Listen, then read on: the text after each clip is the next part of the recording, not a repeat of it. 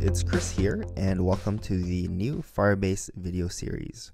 Just a quick note if you don't know what it is, Firebase is a platform that's going to allow us to add database capabilities to our app pretty easily.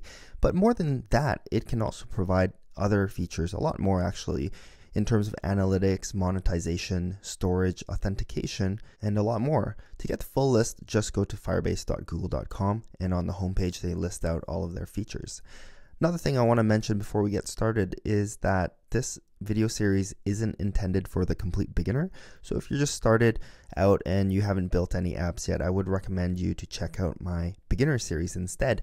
That's designed for the complete beginner. Otherwise, I'm going to be talking about and doing a lot of things that might go over your head and it might not make a lot of sense. Okay, so over the next few videos or so, I'm going to show you how to uh, create your first Firebase app, how are you're going to connect it to your Xcode project, uh, how the data is structured in the database, and how to save uh, how to save data, how to retrieve data. And in the process, we're going to build something like this together.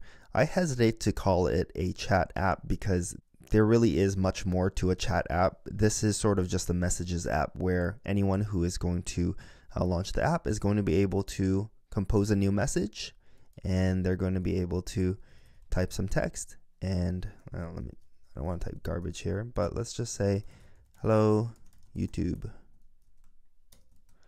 And add it. And you can see that instantly it's reflected in the database. So you're going to be building something like this in the process of learning all of that cool stuff.